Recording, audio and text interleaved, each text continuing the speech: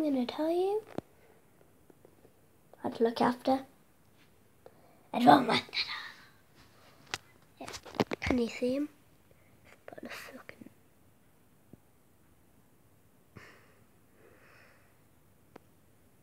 friendly.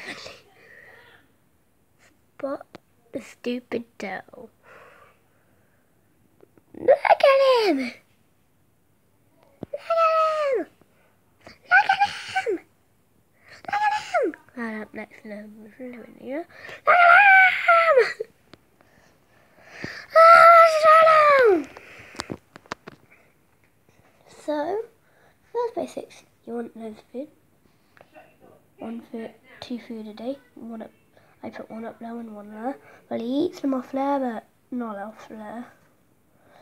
As you can see.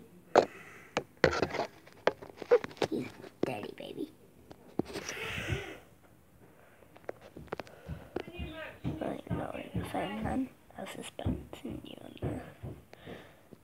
That's so he doesn't get too hot. They need to bask so the light can get in through their shell. And night they need in the wall, they need ID holes. Got one there, got one there, got one here. And that's basically most of the stuff that you need. So